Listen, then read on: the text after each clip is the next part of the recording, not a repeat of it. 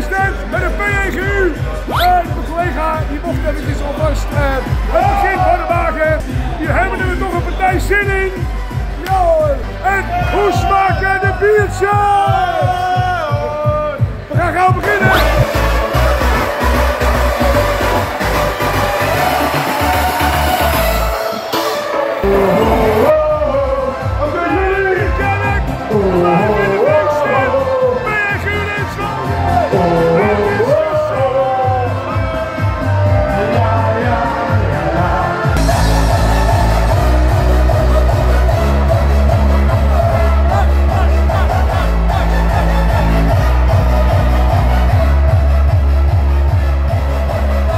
我想太简单。